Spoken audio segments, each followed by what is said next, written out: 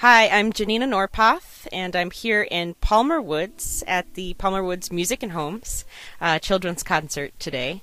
My family, uh, Barbara and Spencer Bearfield, my parents, uh, founded the series several years ago, and um, I love it because it's really an amazing way to come see a concert, um, really in the way that music is intended to be heard, where you can intimately uh, react and interact with the musicians performing for you on stage and really feel like you're part of the music. And um, it's brought the community together really quite a lot. I grew up in this neighborhood, and it's really one of the gems of Detroit. Um, just beautiful homes, historic homes, and um, I feel lucky to have been able to grow up in a place, you know, as beautiful as this. So I think the best way to celebrate it is with music and art, and um,